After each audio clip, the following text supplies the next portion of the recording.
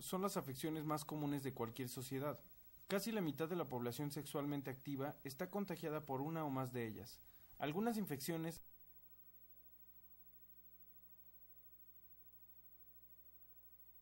aunque se adquieren a veces por contacto sexual, también en ocasiones lo hacen por otros mecanismos como ocurre con la hepatitis. Sin embargo, en ausencia de relaciones sexuales... Usted naturalita. ¿Qué tal? ¿Cómo está? Muy buen día. Muchísimas gracias por acompañarnos el día de hoy aquí en A Su Salud. Le recuerdo que estamos, eh, pues bueno, en miércoles, pero iniciando esta semana, a media semana más bien, de eh, eh, decirle que tenemos una hora a partir de este lunes, comenzamos con una hora de programa, así que, pues bueno, yo le digo que ya no tenemos las medias horas, pero eh, pues entonces con eso usted va a tener mucho más tiempo de llamarnos, de darnos sus opiniones, sus sugerencias, sus comentarios. Y para ello quiero decirle que tenemos las líneas telefónicas abiertas para todas y todos ustedes. Es el 323-6016, 323-5626 y también hay una alada sin costo para quienes nos están viendo en el interior del estado, el 01800 536 96 74. Eh, agradezco el patrocinio de Ross Boutique por los accesorios y la ropa. Ross Boutique se encuentra en la calle de Italia, esquina con Holanda, en la colonia Villa Universidad, aquí en Morelia, Michoacán. Y bueno, quiero decirle que el día de hoy vamos a hablar de las enfermedades de transmisión sexual y esto en la primera media hora, los primeros 30 minutos. Y la segunda media hora vamos a abordar precisamente una enfermedad de transmisión sexual que es el VIH-Sida. Esto vamos a enfocar esta segunda media hora a esta problemática de salud como es el VIH-Sida, así que le invito a que se quede, le invito a que nos llame, a que participe y quiero presentarle a nuestra invitada del día de hoy. Ella es la doctora Alba Calderón Mesa, ella es la representante eh, perdón, la responsable del programa Enfermedades de Transmisión Sexual de la Secretaría de Salud en el Estado, en específico de la jurisdicción sanitaria número uno aquí en Morelia. Bienvenida, doctora Alba, muchísimas gracias. gracias. Bueno, pues ya dijo mi nombre, doctora Alba Calderón Mesa, de la jurisdicción sanitaria, a sus órdenes. Muchas gracias. Pues bueno, eh, comencemos con cuáles son las enfermedades de transmisión sexual más pues que son más frecuentes, que se presentan más, que ustedes en la jurisdicción sanitaria número uno ven, observan más, les llegan más, las pacientes, los pacientes, ¿cómo es esto? Este, pues la candidiasis y la tricomoniasis son de las más frecuentes, pero obviamente también hay sífilis, gonorrea. Estas enfermedades son infecciosas y son este, producidas o causadas por parásitos, bacterias, hongos, virus. O sea, entonces tengo entendido, o si estoy entendiendo bien, no solamente eh, están estas infecciones ligadas a bacterias o, como bien dice, parásitos, sino también hay virus. ¿Y cuál es la forma de, tratar, no, de tratarlas? Por ejemplo, cuando se trata de eh, una infección por transmisión sexual de bacterias o parásitos, ¿cómo se trata? Y a diferencia de la que es, eh, es por virus, pues también cómo se van manejando estas, porque supongo que los virus, bueno, no sé, no sé si se haya cura o no. no, no hay cura, pero sí se dan medicamentos, por ejemplo, para que la, enfermedad, digamos, no avance, por ejemplo, los antirretrovirales en el VIH, que es una de las enfermedades de transmisión sexual, se dan los antirretrovirales cuando ya se tiene este caso, el síndrome de inmunodeficiencia humana. en, por ejemplo, en el herpes genital también, que es viral, también se dan los, este, los, antivirales. Antivirales, claro. Y también este, no se va a curar, pero pues sí ya desaparece la sintomatología.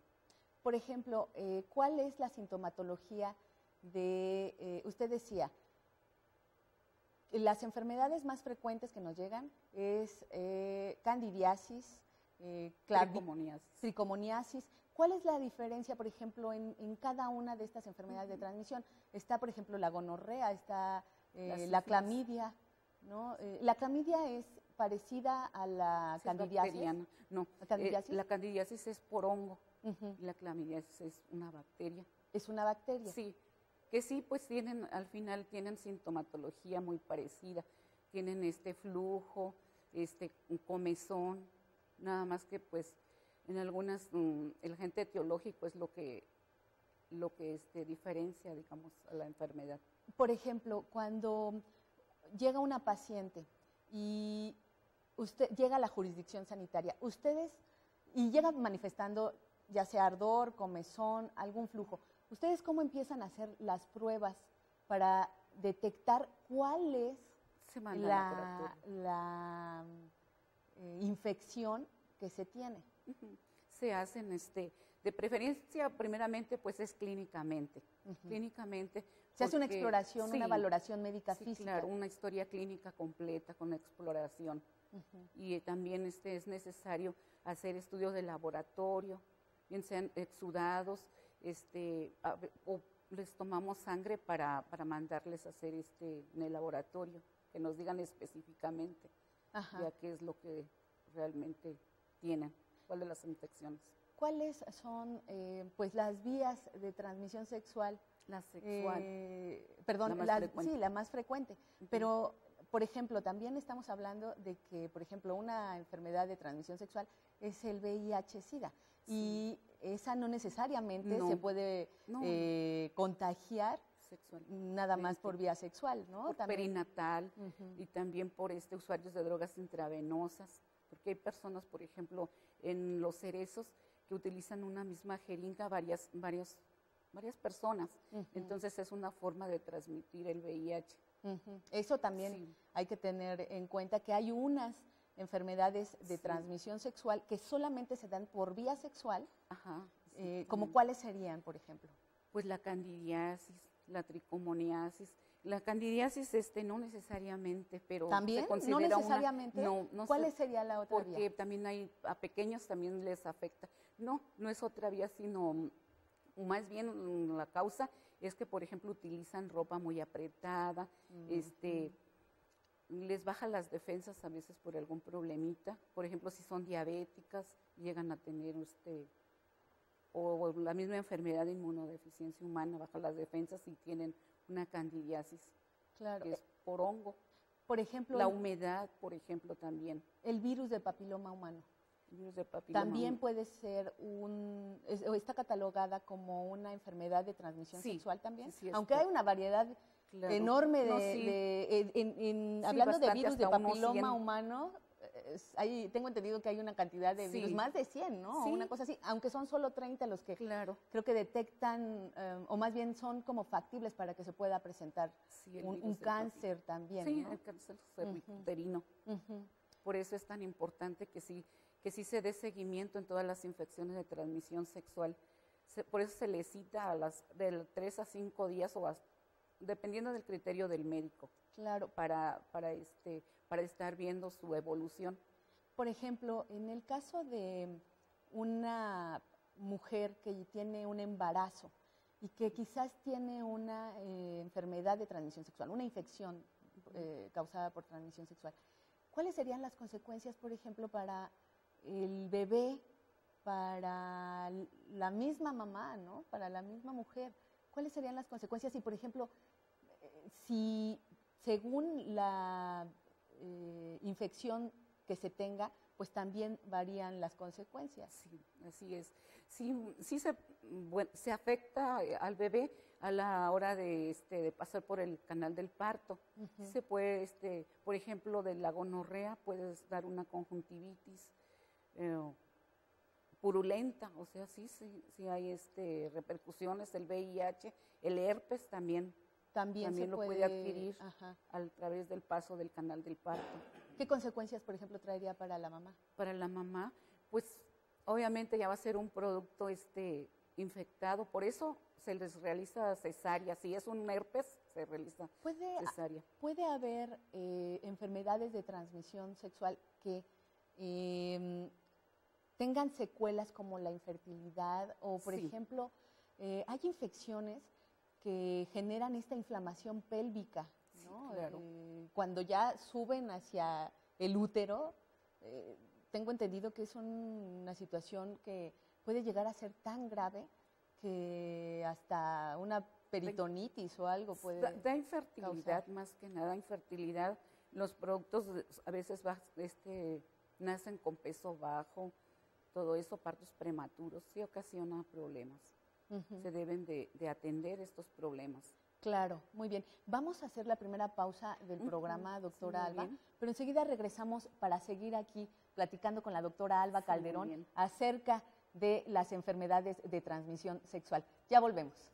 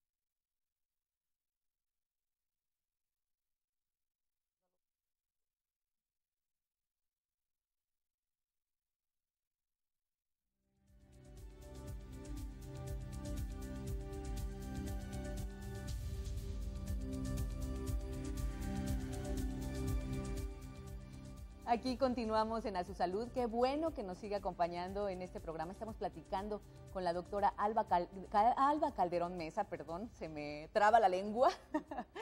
y estamos platicando acerca de las enfermedades de transmisión sexual. Y bueno, quiero decirles, cometí un, un tremendo error al principio porque no he saludado a las personas que nos están sintonizando a través de la radio de todos y todas de aquí del Sistema Michoacano de Radio y Televisión, la 1550. Un saludo para todas ellas. Eh, y bueno, continuamos, doctora Alba. Muy bien. ¿Cuáles, eh, por ejemplo, pienso en cuanto a las enfermedades de, transmisión sexual? Cuando una persona llega a la jurisdicción sanitaria y eh, empieza con estos síntomas, llega con estos síntomas, ¿quiénes son los que más llegan o las que más llegan? ¿Son hombres, mujeres, adolescentes, eh, adultas, adultas mayores, adultos mayores? Ahí, ¿cómo se presentan estos casos de acuerdo a sus experiencias ahí en el, en- en el centro de salud? Se presentan este, más las mujeres, eh, pero igual de la edad, pues sí, son de 15 a 49 años. O sea, que estamos hablando de un, de un sector joven, realmente. O sea, digo, Con vida sexual activa. con vida sexual activa. Sí, ahora empiezan, digamos, más, más tempranamente Claro. sus relaciones sexuales. Ahí, eh, por ejemplo, la jurisdicción sanitaria, ¿cómo trabaja para poder llevarle a eh, sectores de eh, más jóvenes, ¿no? Eh, pues este tipo de Esta información, porque muchas veces por ignorancia, por desconocimiento, por falta de información y muchas veces todavía por pena, este tipo de temáticas no, la gente no acude al centro de salud o no va con el médico, no se atiende y pasan muchas veces consecuencias más graves, cuando a lo mejor cuando se tienen, se presentan enfermedades, en este caso de transmisión sexual, a temprano momento, pues bueno, se pueden eh, tratar de mejor manera y con mayor prontitud, ¿no? Claro, pero para esto acudimos a las escuelas del secundarias, preparatorias, para darles a las primarias también acudimos en ocasiones para darles charlas de lo que es infección de transmisión sexual, porque se deben de estar informados, debemos estar informados de lo que es las enfermedades y este para pues así acudir y la verdad es que ya se va digamos teniendo un poco más mm, de digamos cómo diríamos de aceptación para realizarse por ejemplo este detecciones de VIH hacemos también ferias de salud y ahí ya las personas este, acuden a nuestros módulos de información Ahora, como dice usted, al centro de salud, pues ya son las personas, las, las señoras las que acuden, pero obviamente les decimos que debe ser su, el tratamiento la pareja. Claro, el compañero, ¿no? Entonces, esto también habla de que las mujeres de alguna manera como que... Influimos. no, y además siempre estamos como más cercanas a ver por nuestra salud que los compañeros hombres. Y, y también es una forma de generar esta conciencia, ¿no? A través de las mujeres, pues para que con los compañeros platiquen y digan, ¿sabes qué? Me encontraron una infección, el médico, la médica ya me dijo que debemos de tratarnos, que debemos de cuidarnos. Eh, y, bueno, yo creo que ustedes en ese sentido, ¿a quiénes les cuesta más trabajo acercarse? A los hombres. A los hombres. A los hombres, pero pues por medio de la mujer es la aceptación del tratamiento, que lo ideal sería que acudieran los dos. Claro. Y sí debe deben de acudir, porque pues ah, en ocasiones nada más está infectado, por ejemplo, en el VIH, este, nada más mm, la mujer y el hombre en ocasiones, aunque se hagan los estudios, no tiene la enfermedad, pero es muy raro. Por ejemplo, en las zonas rurales, ¿cómo es aceptada esta información cuando ustedes van con las brigadas para eh, dar a conocer este tipo de enfermedades, para dar a conocer la manera de prevenirlas. ¿Cómo se acepta? ¿Ahí es, hay más resistencia o tampoco? Sí hay, resistencia. Digo, aquí, si aquí en la urbe hay resistencia. sí, allá es un poco más difícil, pero, pero pues ya les estamos insistiendo, acérquense al módulo para, para explicarles de las infecciones de transmisión sexual y se les da así orientación. Y sí, sí, este, es importante, ya se están realizando sus estudios, nos, piden información para los hijos, que de las escuelas les dejan este, tareas de lo de infección de transmisión, VIH, todo esto, y, les damos su, información, su folletería. Tenemos siete folletos para darles todo lo que es, este, básicamente VIH, infección de transmisión sexual que vienen ahí, pues ahora sí que sífilis, gonorrea, todas las infecciones Claro, por ejemplo, ahorita que menciona la sífilis, la sífilis en inicios del siglo pasado fue una enfermedad realmente eh, que abarcó muchas áreas del país, ¿eh? o sea, fue una de las que mayor cantidad de, pacientes tenían y ahorita, ¿cómo, ha disminuido su incidencia? En, la sífilis y en la gonorrea, que son también. Sí, han disminuido y ahora la que es, digamos, más, más frecuente, pues es la candidiasis trichomoniasis, el VIH, también tenemos varios casos, pero no es pues muy, hay, muy alta la incidencia. O sea, es, es, cada vez hay mayor presencia, por ejemplo, del VIH en nuestro estado, por ejemplo, o en qué promedio Es variable. Eh, es, es, fluctuante en realidad, pero, pero este, se detectan más, más personas con sus, las pruebas rápidas y obviamente pues sí, sí nos han resultado reactivos, claro. pero, pero pues seguimos que debemos de seguir en la prevención, básicamente. ¿Cuál, ¿Cuál es la mejor manera de prevenir las enfermedades de transmisión sexual. Primeramente la información. Así es, yo creo que esa es la... De las enfermedades en lo que ya viene hasta Eso es lo primero, eso de tiene donde que ser quiera ya viene lo que, en, en que consisten las infecciones y por eso esta distribución de folletería. Les insistimos mucho en que la deben de leer y que se las deben de pasar a otra a otro pariente, a otro compañerito, a alguien más. En cualquier centro de salud eh, que esté en el estado, pueden adquirir, las personas que estén interesadas, que nos estén viendo, que nos estén escuchando, pueden adquirir este tipo de información. ¿Habrá algún médico, alguna médica que les pueda orientar, que les pueda atender a todas sus eh, dudas, a todo lo que tengan que preguntar, Sí. porque muchas veces también depende mucho de la confianza que se le pueda dar a estas personas que quizás con cierta timidez pues van a, a- a- pienso en los jovencitos, en las jovencitas, Sí. ¿no? que a lo mejor quieren eh, informarse y con mucha pena, con mucha timidez, se acercan a lo mejor a los centros de salud y también tiene mucho que ver cómo les atiendan los médicos Sí. o las médicas. Sí, es muy importante, ¿no? Sí hay personas exclusivamente para dar pláticas. Este, En cada centro de en salud. cada centro de salud mm, se les da pláticas cada semana.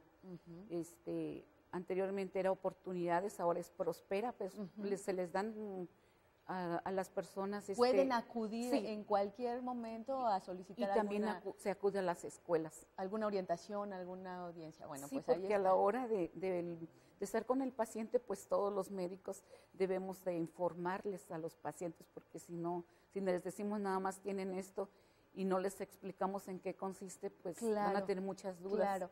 Bueno, eso como una primera forma de prevenir eh, una enfermedad de transmisión sexual, Sí. informarnos. ¿Qué le parece si vamos a hacer una pausa Sí. y enseguida regresando nos sigue platicando acerca de cuáles son eh, las otras aristas para seguir, eh, para prevenir las Claro enfermedades sí. de transmisión sexual? Muy bien. bien. Pues eh, seguimos aquí en A Su Salud.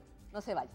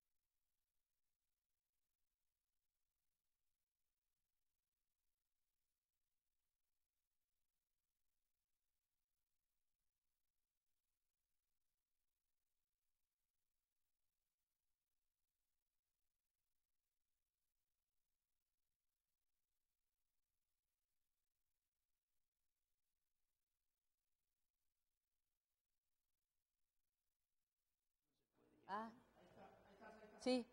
Ah, que terminamos con la forma de prevenir las enfermedades de transmisión sexual y ya abrimos con, con el siguiente. Órale.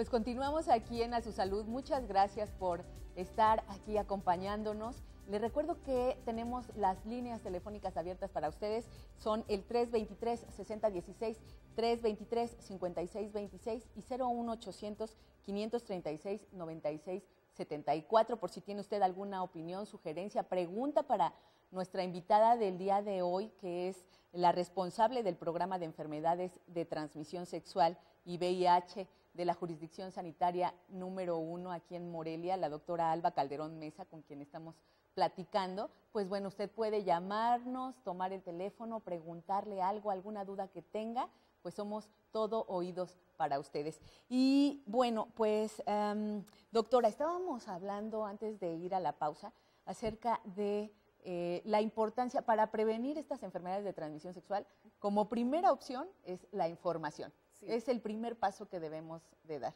Y los centros de salud eh, del Estado están abiertos para eh, que quien quiera a- a atender esto acuda y están Sí, ahí las también opciones. se les da dotación de condones. Cuando, por ejemplo, se hace el diagnóstico de, de sífilis, de alguna enfermedad que produce una úlcera, se les debe de, de dar su dotación de condones. Se les da de 12 a 15 mensuales o lo que requieran. Si alguien requiere más, no hay problema, los sea, que ocupen. Y es una manera de, de prevenir. de prevenir. ¿Qué, qué tanto, eh, por ejemplo, muchas veces se considera que el condón es infalible, ¿no? Eh, contra todas las transmisiones de, de- contra todas las enfermedades de transmisión sexual. Pero si no está bien colocado, pues de nada vale. O si no se sabe eh, eh, la precaución al momento de colocarlo, se daña, sí, se no. puede dañar, se puede romper y ahí entonces ya, Ya no es la misma efectividad. ya no es la misma efectividad. Sí. ¿Qué tanta efectividad tenemos cuando eh, con el uso del condón para prevenir las enfermedades de transmisión sexual?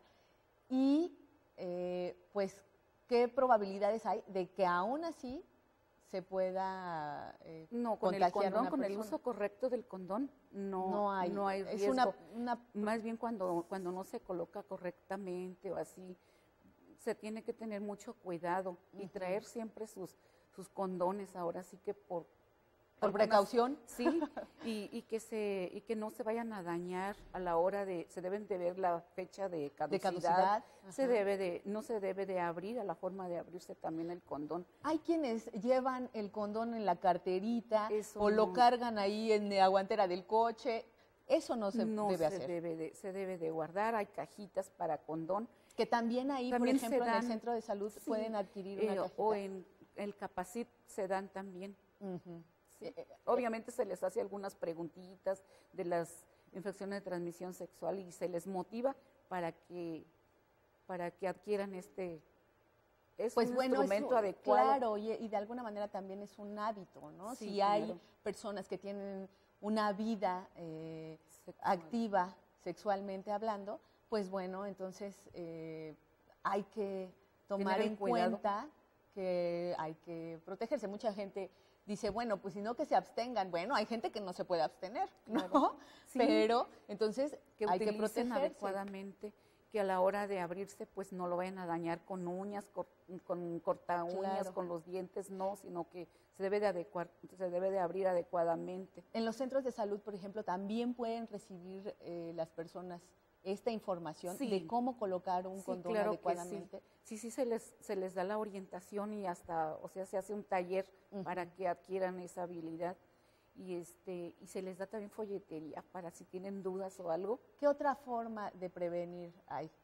pues Ya la hablamos le- la disminuir el número de parejas sexuales, sí, la higiene también es muy importante, Claro. el Claro. uso de ropa, pues que también este influye. Claro, por ejemplo, usted decía, de la candidiasis se puede presentar también por el uso de ropa muy apretada Sí. o muy ajustada o quizás de materiales sintéticos Sí, también. ¿no? Eh, influye. ¿Cuál es la recomendación, algodón, por ejemplo? que utilicen ropa interior de algodón, este, la higiene, su baño diario, o después de que se tiene alguna relación sexual, pues el baño, o o la higiene, es por lo menos que se, su aseo, pues. Claro, hay muchas personas que eh, en la publicidad encuentran el remedio, ¿no? Este, para, por ejemplo, una candidiasis, dicen, ay, sí, me pongo la pomada, me pongo el óvulo, pero yo creo que es también es necesario acudir al médico. ir al médico Sí. para que puedan tener un diagnóstico certero, un diagnóstico Sí, eh, porque hay un completo. horario para medicamentos y 10 días, o sea, un- se debe de ver muchas cosas. Además, el seguimiento es importante citar a los pacientes para ver si si, si mejoran. Claro. Y aunque ya se hayan, ya no tengan sintomatología, deben acudir a- para darle su seguimiento, que es tan importante la consulta subsecuente. No acuden, ya no sabemos. Claro, hay, hay gente que a lo mejor empieza a tomar el tratamiento, después se empieza a sentir mejor y deja de ir a sus citas, Sí. a sus citas ya programadas, ¿no? Y entonces el médico, una reinfección. quizás. claro, y el médico ya no tiene ahí forma de saber cómo estaba haciendo el proceso, ¿no? Si Sí. iba bajando, si a lo mejor una infección bacteriana por hongos o este, por virus va teniendo algún otro tipo de manifestaciones, ¿no? Sí, también este nuestro jefe nos ha recomendado el doctor Salgado que debemos de, realizar visitas domiciliarias para, para, mejorar el, el, este, el indicador de excelencia que es la consulta subsecuente. Básicamente no es nomás para eso, sino por la salud de la persona. Claro, de la persona y al mismo tiempo también de la pareja de la persona, Exactamente, sí. Y de la familia en general, porque bueno, si algún miembro de la pues, familia, pues, bueno, pues está mal, claro. Este, problemas realmente cuando se pierde la salud se generan muchísimos problemas, ¿no? Este, no solamente económicos, se generan problemas psicológicos, sí, emocionales, se puede entrar en depresión. Eh, si los hijos o hijas ven que mamá o papá está mal, se encuentra mal, bueno, pues también a ellos se les afecta, ¿no? La pérdida de la salud de, manera definitiva eh, y bajo cualquier tipo de enfermedad, seguramente este, repercute, repercute en toda la familia. Claro. Sí, por eso a lo mejor es hay mucho tabú todavía, este pena que por eso las gentes a veces no acuden o desconocimiento de que pues es un padecimiento más como cualquier otro. Claro, ¿verdad? Entonces, redondeando el tema, doctora, eh, hay que informarse. Sí. Hay que eh, sensibilizarse. sensibilizarse, por supuesto, porque no es nada más una problemática de mujeres o de hombres. ¿No? También. Se les, sí, y se les dan pues las pláticas, esa es una forma de, de pues que la gente vaya haciéndose de conciencia de, que se debe de atender estos problemas, claro. porque es un problema de salud pública. Y entre más informados e informadas estemos, pues eso eh, nos va a hacer que eh, conozcamos más de esto, que quitamos, que rompamos mitos, que rompamos tabúes, como usted bien dice, y que, bueno, se conformen eh, incluso en la salud sexual, que es tan importante en la vida de los seres humanos, pues bueno, una forma sana de llevar precisamente estas actividades sexuales. Sí, porque en realidad este, una, una sexualidad responsable es bien importante. Claro. Pero pues sí se requiere información y, más que nada la continuidad de,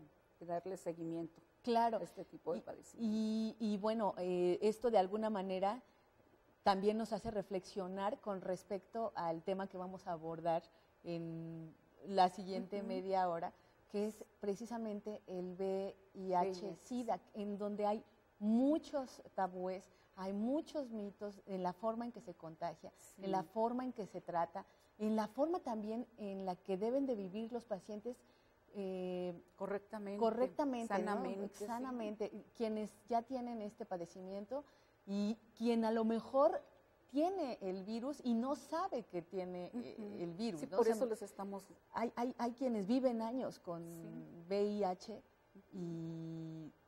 Es, no se dan cuenta porque es asintomático. Es asintomático y hasta después de muchos años empiezan a manifestarse. Sí, a veces en algún, algún análisis de sangre que se hace, por ejemplo, ahora que ya mm, la sangre segura, o sea, digamos, van a hacerse un estudio para donar sangre y ya les hacen estas detecciones mm, de hepatitis B, hepatitis C, o sea, ya, VIH, ya, no nada más se buscan las enfermedades, o sea, si se llega con un patrón de enfermedades de transmisión sexual, también se pueden hacer em, pruebas mucho más profundas como para ver si hay algún padecimiento, mayor como el VIH. Si son donadores ahí, ahí descubrimos que, son mm. pacientes que ellos ni saben que están este, infectados. sí, pero se les da seguimiento, se les informa al paciente que salió con hepatitis B o C o VIH y pues obviamente esa sangre no se va, ya no se va a utilizar para el paciente porque antes era una forma de,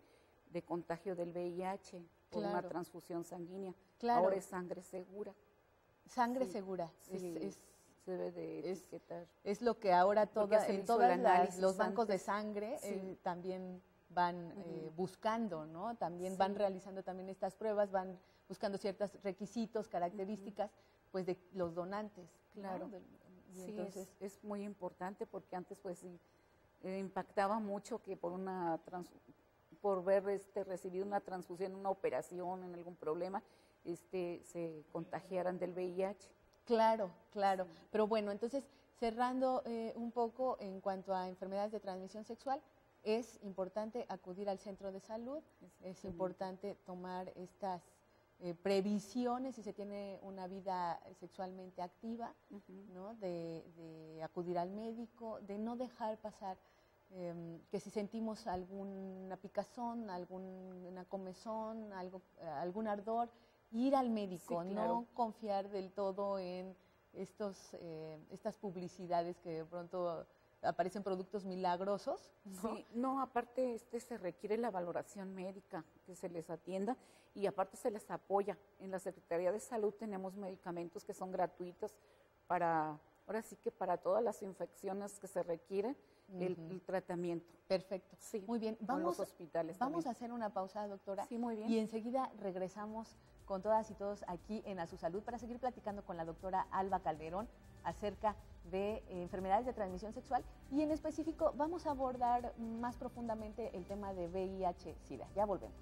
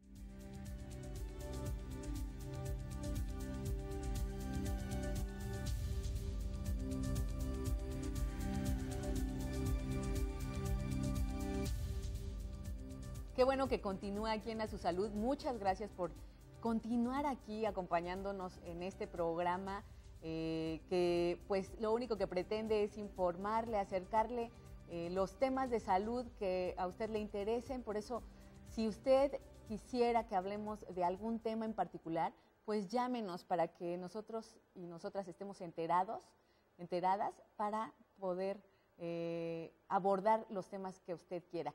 Eh, vamos a ver una cápsula y regresando le doy los números telefónicos para que eh, usted, si tiene alguna duda, sugerencia, bueno, ya. El VIH o virus de la inmunodeficiencia humana es un microorganismo que ataca el sistema inmune de las personas, debilitándolo y haciéndoles vulnerable ante una serie de infecciones, algunas de las cuales pueden poner en peligro la vida. SIDA, el síndrome de la inmunodeficiencia adquirida, o SIDA, es el estado de la infección por el VIH caracterizado por bajos niveles de defensas y la aparición de infecciones oportunistas.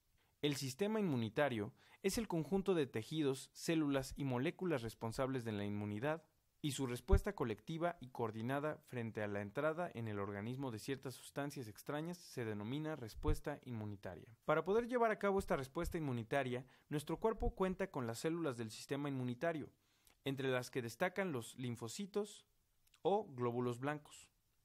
Cero positivo.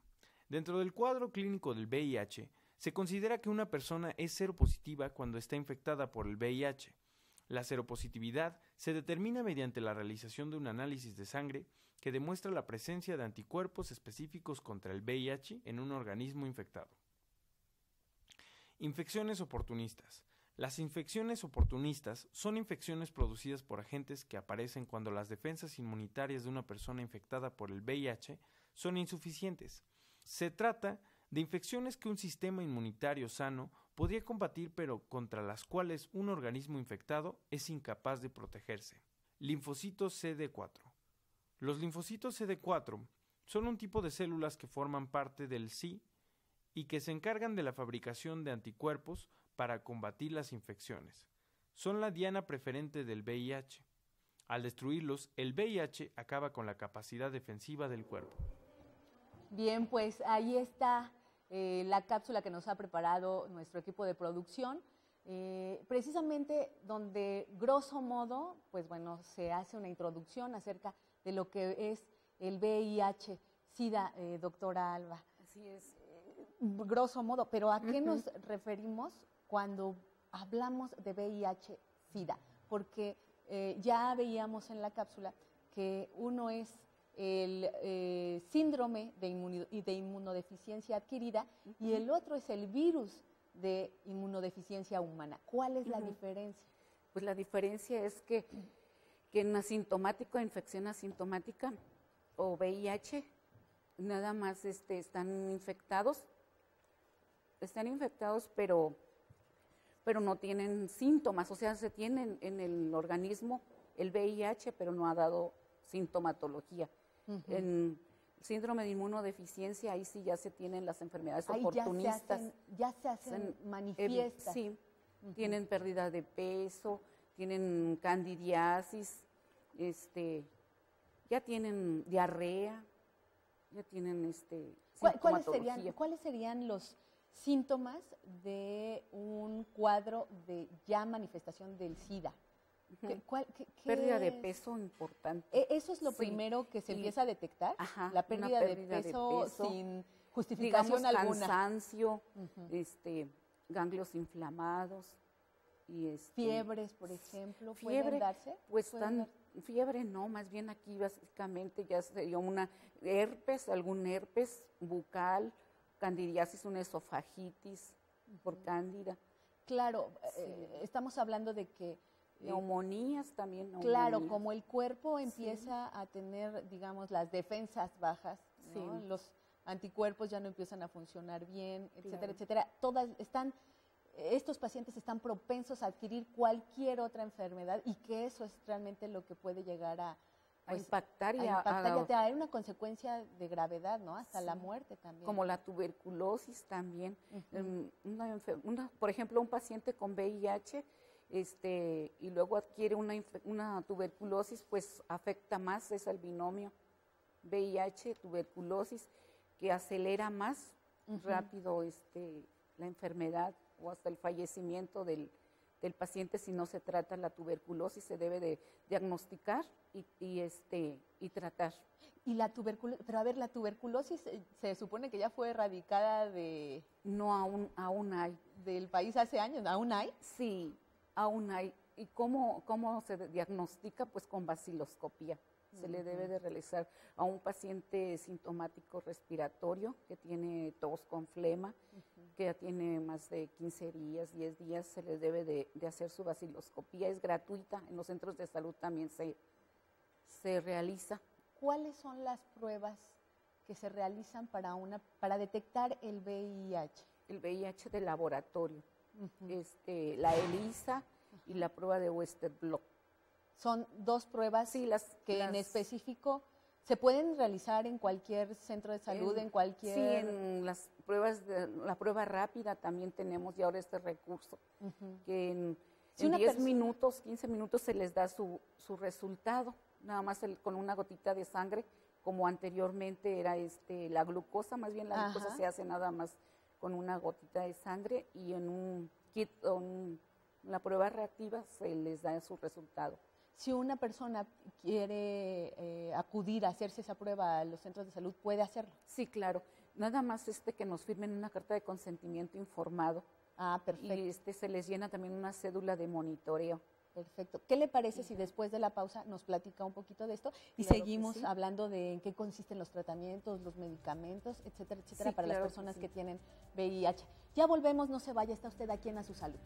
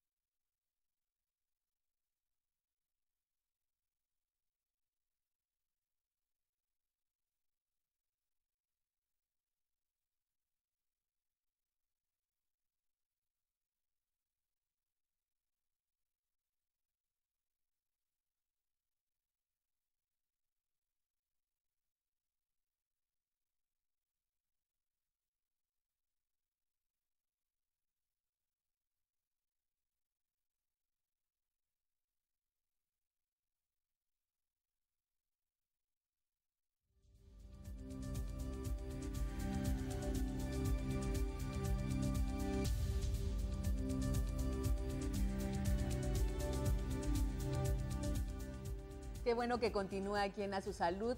Eh, le quiero recordar los números telefónicos 323-6016, 323-5626 o 01800-536-9674 por si usted tiene alguna duda, alguna pregunta para nuestra invitada del día de hoy, la doctora Alba Calderón, quien es la responsable del programa de enfermedades de transmisión sexual aquí en la jurisdicción sanitaria número uno de Morelia. Eh, agradezco muchísimo la llamada de Blanca Jaimes de aquí de Morelia. Muchas gracias por lo que dice del programa este, y, de la conducción. Gracias, señora Blanca. Y eh, doctora, fíjese que la doctora, eh, perdón, que la señora Blanca pregunta cuáles son las medidas de prevención y atención que se tienen con las, con las y los servi- sexoservidores o sexoservidores. Bueno, primeramente este se les hace su detección de Hay una la prueba rápida, Ajá. ¿sí?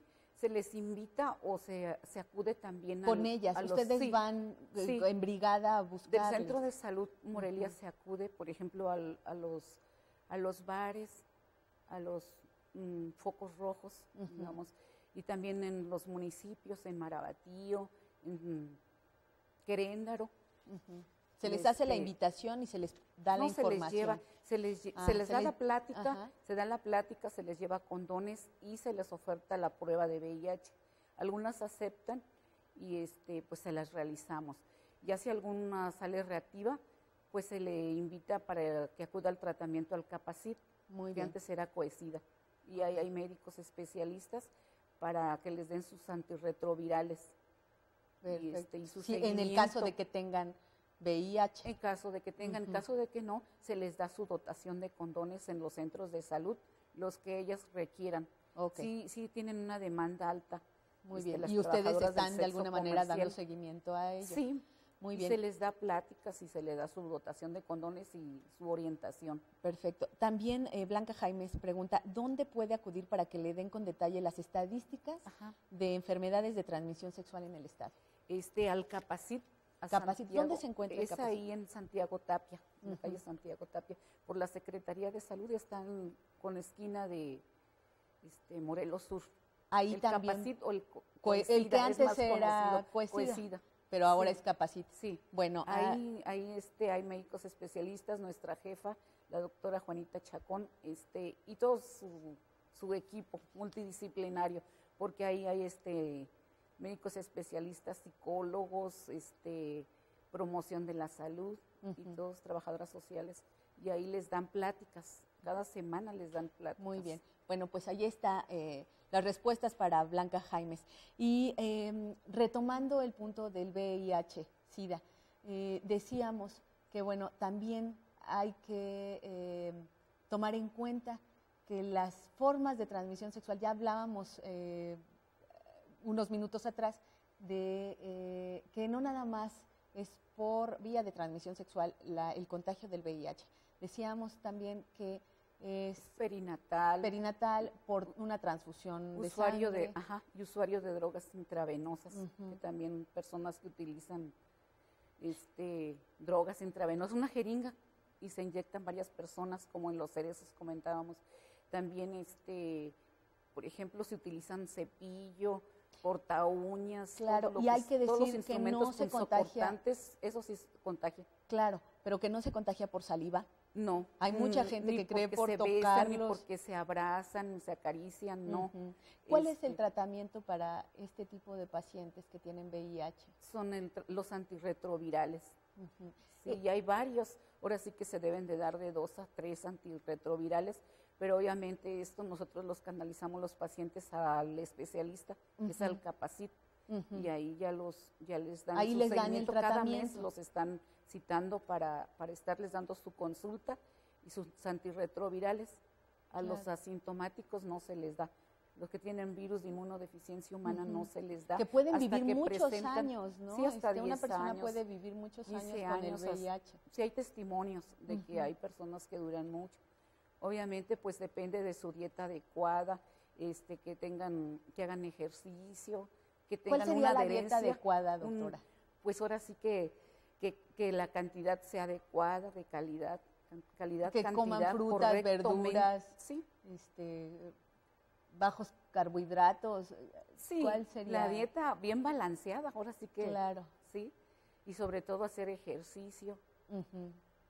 Sí, y, ad- y de adherencia al tratamiento, porque luego, por ejemplo, los pacientes que ya tienen su tratamiento, mm, a veces lo suspenden y pues ya no van a hacer la misma efectividad. Se sienten mejor, dejan de acudir. Sí. Ya los médicos también no pueden darle seguimiento. No, pues sí se realizan, a nosotros nos avisan que debemos de realizar visitas domiciliarias para invitarlos a que a que continúen con su medicamento, pero lo ideal es que se adhieran al tratamiento. De eso y eso va a favorecer muchísimo Claro. este, que, que duren mu- mucho más años. ¿Cuál es el buena manejo de o un paciente de VIH cuando llega al centro de salud?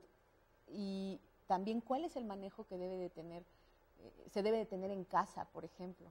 Sí, sí, pues en casa este, deben de realizar su vida normal, nada más teniendo cuidado, como le decía, de no utilizar este, eh, cepillos, que las demás personas no utilicen los cepillos. Es también, en casa también existe cuando se dan cuenta que este paciente está este, infectado, que tiene esta afección del VIH, este, lo discriminan, lo estigmatizan. Sí. Y no debe de ser al contrario, todos tenemos este, la posibilidad de, de estar este, nosotros infectados, entonces debemos de, de, de entenderlos y de darles básicamente una, una atención adecuada. Claro, de informarnos cualquier- y que además el apoyo eh, de la familia Sí, es para estos pacientes, eh, pues bueno, es muy importante. y- y Los mantiene con una eh, autoestima en equilibrio, les mantiene con una, un buen enfoque hacia la vida, ¿no? Independientemente Sí, del así es. avance que tengan con la enfermedad. Pues bueno, es importante decir que hay que informarse si se tiene un paciente con VIH, con SIDA, Sí. hay que informarse, pero también hay que estar consciente de que, mm, claro, hay que tener cuidado con el manejo para no contagiarse, pero no se contagia por saliva, no se contagia por tocarlos, no, se no hay que por estigmatizar a estas personas. sanitarios, los mismos Claro. sanitarios no. O los mismos O por cubiertos al dormirse comer, juntos, claro. tampoco, Claro. solamente con, con el contacto de los mm, fluidos este, de sangre, de Claro. fluidos vaginales, secreciones vaginales, todo. Sí, y eso hay que tenerlo eh, como muy consciente. Por ejemplo, en eh, los servicios de salud pública tienen la manera de poder tener eh, las cantidades suficientes de medicamentos para este tipo de personas. Sí tienen.